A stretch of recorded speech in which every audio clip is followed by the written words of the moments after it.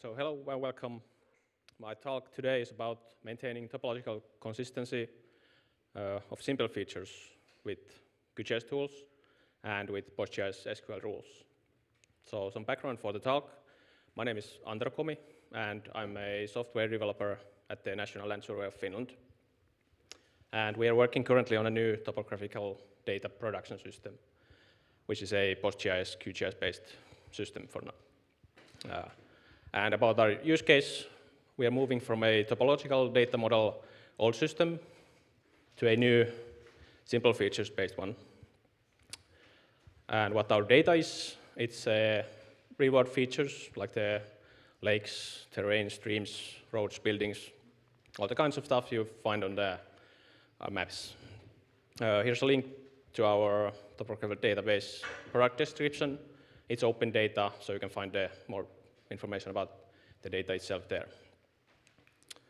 And where would you use like topological data and how it's used in the current system? For example, when we have like a polygon feature which needs specific attributes on some or all, all of parts of its boundaries, or for example, a polygon must have a shared edge with another polygon, so you want, want to leave gaps on the, on the between the two polygons. And then we have also lines that must form networks, for example, roads or water networks. We want to have the line ends at the intersection so we can have routing on the, on the network. And for example, here are some actual raster map examples of the data. So we have, for example, a shoreline that is marked as indefinite, so we can't really, like we mark the boundary that it's not so exact at that location on some parts of the lake. And then, for example, we have a shallows that must reside on a water feature, and it also has to have a shared edge on the shoreline with the, for example, here a sea part feature. And then we have for example, the road networks, we have a multi-level road network here, which has at this location four different levels, one ground and three bridges. So you must connect the nodes at the actual intersection so you can have proper routing on that. And how the data model differs, a short introduction. Uh, with simple features, for example, here a lake is a polygon and the shorelines are the lines. So when the real world feature changes, you have to edit both individually. And the data is duplicated on all the edges, so you have both, like all the vertices duplicate on that edge.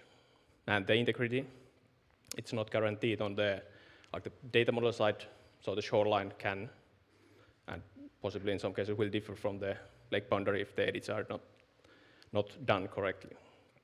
And in the topological model, the shorelines enclose a face, which is the lake.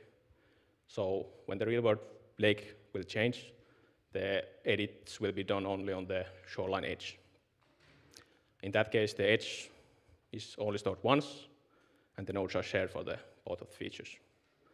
And because of that, the integrity of the data is guaranteed so that the shoreline and the lake are at the same location. So how we do the edits in QGIS with the simpler features? So with most map tools, the editing works fine. For example, if you want to edit multiple features on one operation, you can do that with the topological editing. You can move one vertex or selecting multiple vertices. The tools work quite well. And if you use snapping, for example, you can use that to snap to another feature, and the QGIS will add the topological vertices on the other features.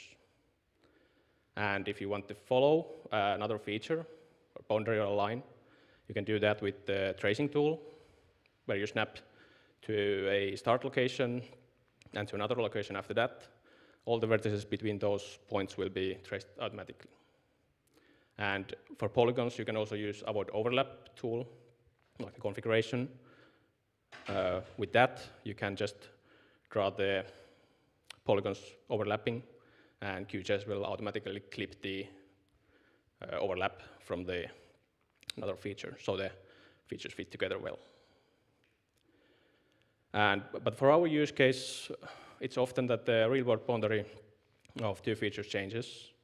So with the reshape tool, it currently, at least in QGIS, works in, with the single feature only. So with that, you need to redraw one and then fit the rest, for example, with the tracing tool or the avoid overlap configuration. And with the, uh, our system, we needed a workflow for easy topological reshape so that you can just redraw the new segment once.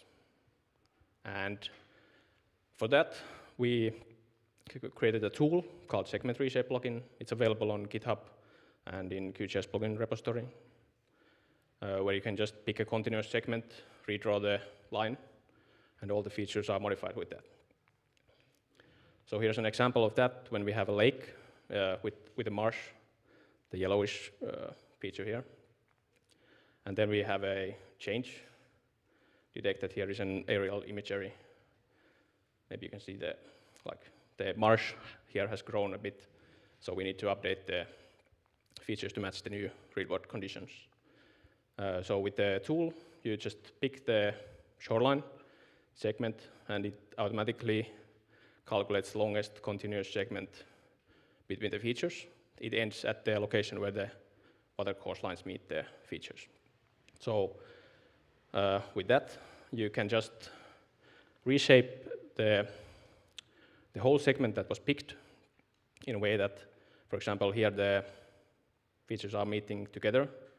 So you can use the tracing tool and then just pick the, in the location that you need to redraw the new location, you can use the, you can just digitize the new points there. And then you end, when you end the digi digitization, uh, the whole, all the features that meet at the location are, are modified according to the one, one redraw line. And when the data is edited, uh, we need to validate the uh, features in the database. And for our approach, we chose that we query the possible problems from the database features. So we have one place of reference for all the issues.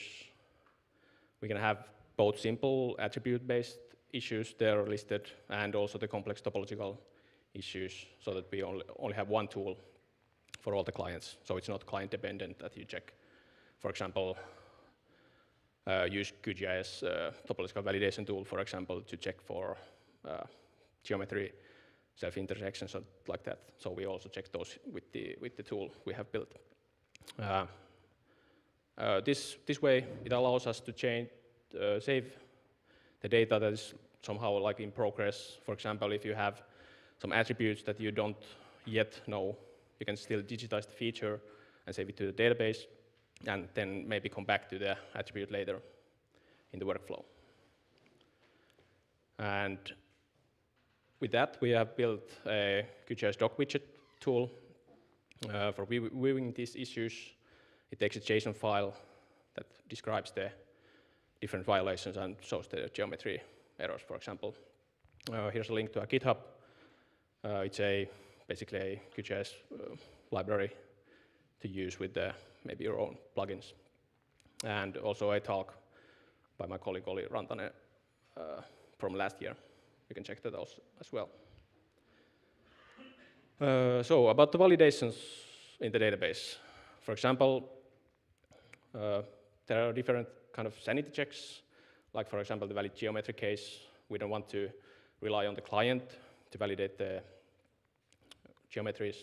So you can save invalid geometries to the database, but the tool will also check those. And for example, with some tools in QGIS or with some processing algorithms with SQL, uh, it might cause some maybe JIT coordinate values missing from the features. So we check those as well. And for kind of attribute checks, we can check for, for example, value ranges if, for example, we have an attribute that must be in a like numerical range, you could input some invalid there, but we don't want to prevent saving to the database with that. And for example, we have some combinations of code lists where you pick one attribute and another attribute must match with that, so we can also check those. And for the geometrical relationships, uh, the simple cases, of course, uh, like the containment, we must have a water, boulder in water in a water feature. So that can be checked as well with simple mm, postgres functions. And maybe the overlap case also, we don't want buildings overlapping, so we can check those with simple uh, PostGIS functions as well. Uh, but for the more complex cases, the topological validations, for example, we have a case where a line must linearly intersect only one polygon boundary. This is a case for a shoreline.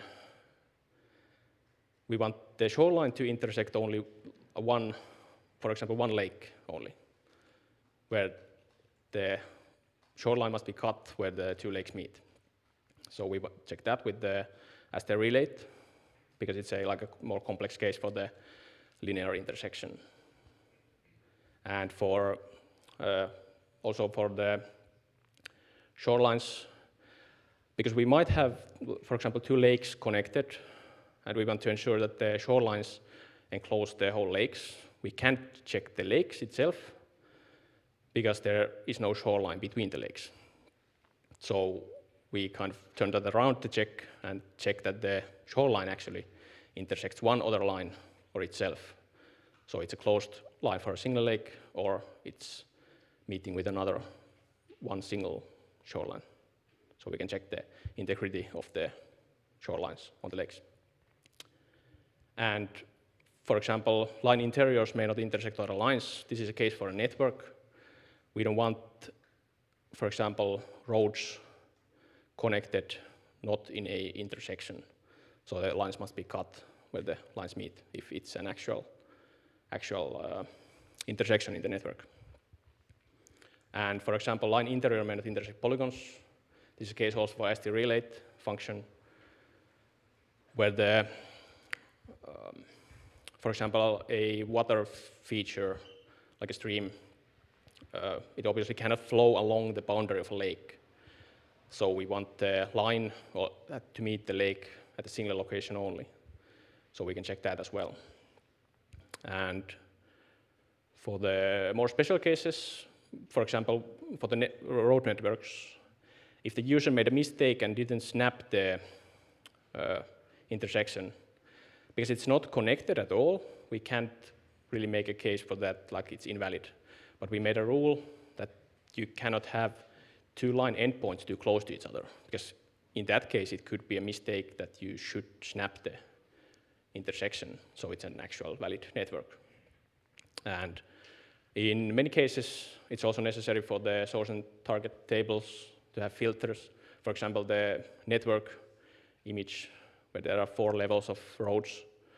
We don't want to cause the rules to mark it violating when, it, when it's actually a different level of a road. So we have an attribute on the roads, like what level of, like from up from zero is ground level and then from up there, we can just say that it must be on the same level if the rule applies.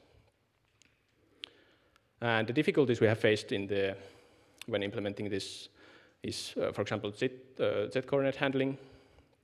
Uh, that causes issues also with the QGIS tools. Sometimes it's a, not a number on the Z-coordinate. And also some PostGIS functions maybe drop the Z-coordinate, so we must handle that as well. And also performance is a uh, very, very difficult in some cases to structure the queries in a way that it's performant. For example, the uh, no dangling endpoints query, I think it took like five or six iterations to get to a good enough performance level. And for uh, some cases, we have a data modeling related challenges where we, for example, a shoreline outside of Finland boundaries, the lake is just cut, where we don't want to model it. And then the, like the rule applies that you should have the lake completely surrounded by a shoreline. But when it's outside of Finland and we cut the lake, we don't want the shoreline to appear there where there is no actual shoreline. So we can use maybe a attribute based on the country of location, like if it's completely outside of Finland, to control whether the rule applies or not. And also some modifications might cause other features to be invalid. For example, when you modify a lake and there is a maybe a boulder in water in the lake, if you modify the lake, the boulder might be left outside the lake.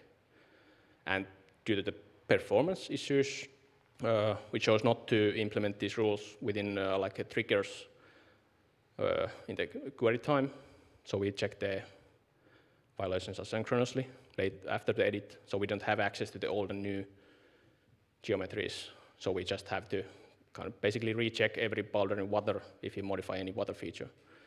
But in those simple cases, it's often performant enough to check all the data in the current working copy for the user. And how we configure the rules, uh, we first define the rule types needed. For example, generic cases like where you want to have a certain kind of intersection with the features. And then we have a huge matrix of rules between the feature types. We have like 60 or 70 feature types where we define the, like how they should interact based on the current system. So we could implement the same rules in the new system. Uh, how it works for us, uh, we have a YAML file for the SQL templates, where, which is the generic case where you can template out the tables and other variables. And then we have the uh, configuration for the YAML file, which is the actual like what different abstract rules we apply for different kind of feature types. And uh, then we have the result YAML, which is actually like the templated executable SQL we didn't want to take like template out at the runtime, so we just generate the like the full executable SQL here. For us, it's like 20 megabytes and 400,000 lines. It's quite huge, but that contains all the information. We like we just execute the SQL and get the violations back from the queries. And with the link, you can find examples for configuration. That's our repository for our Java library, which is basically the abstract implementation of the API for the SQL, what should it, the queries return, and what the JSON file looks that the QGIS plugin can display to the user. Yeah, that was all. Thank you for listening, and I think I have time for questions.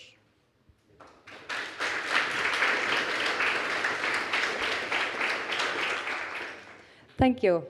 Are there any questions? Oh, yeah. Thank you for the presentation, Erki uh, from Positium. What was the motivation to move from a topological data model to the simple feature? And are you now happy with the move, or there is still motivation to have some of the feature from the existing topological model? Thank you. Um, I think the when we first implemented this, I don't remember exactly how we decided, but we have implemented, uh, like the next talk in this room is actually from the, like our system in general. Uh, so we chose the simpler features to have a more simple versioning. Like we could implement like long transactions in PostGIS more simply by using the simple features, where we could just like look at one feature at a time and not to consider the whole topology model behind that. So that was the, like the technical aspect on why we chose the simple features instead of the like PG topology stuff. And as a developer, um, I think we have some issues like what we discussed on the performance side and stuff, but I think it's still like, it works well for the, with this configuration and uh, with this system for the using simple features. So the next one. Who wants to ask?